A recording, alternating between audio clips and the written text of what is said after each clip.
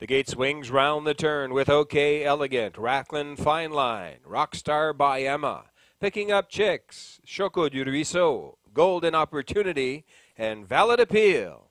A field of seven. Top of the stretch. Here they come.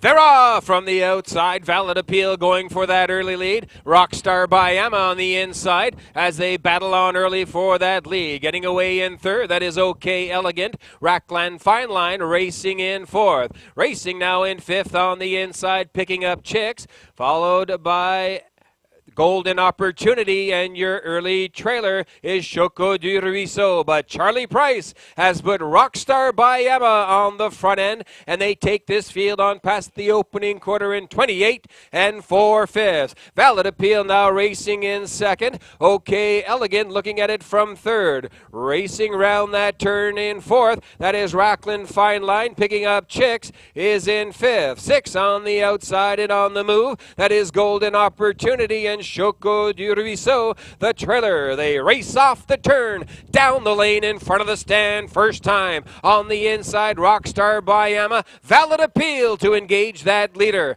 as they race on past the half in 101 flat. Into the turn they go. On the inside, Rockstar by Emma. Valid appeal, second on the outside. Now going to the outside from third. There goes OK Elegant. Racing in fourth and along the cones. That is picking up Fifth on the outside as they race on towards the three quarters is Rackland Fine Line. The field bunches up as they approach three quarters. It's now Valid Appeal with the lead, but OK Elegant on the move and the new leader.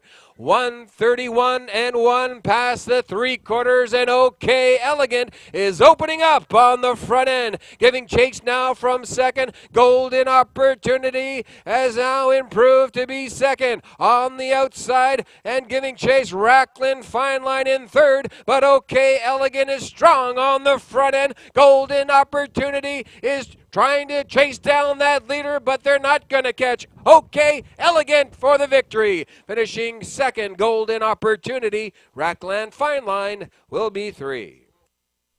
Time for the mile 201 and 2.